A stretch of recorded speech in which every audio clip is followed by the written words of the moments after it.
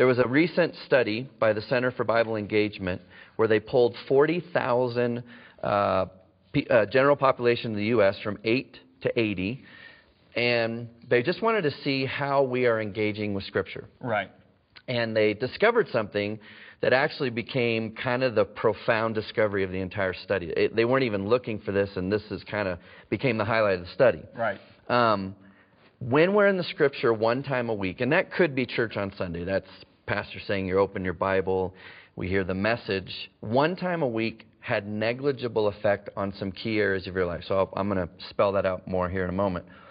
Two times a week, negligible effect. Now, at three times a week, there was a blip on the map, like there was a heartbeat. Something happened, again, a heartbeat. Okay. But here was the profound discovery.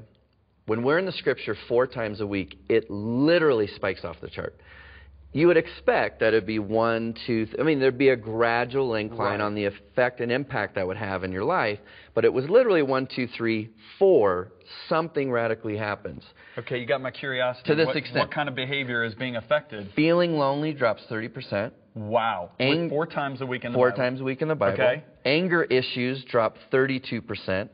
Uh, bitterness in relationships, marriage, a relationship with your kids, and so on, drops 40%.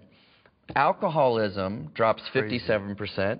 Feeling spiritually stagnant. You know, if there was one area when I'm talking with people that that they'll be honest about is they just feel spiritually stagnant. Ask them the question, how much time are you spending in Scripture? If they're in the Scripture four times a week or more, it drops 60%. Wow. Viewing pornography drops 61%. That's very important. now, on a flip positive side, sharing your faith Wow. jumps 200% Wow. because you have a confidence in God's Word.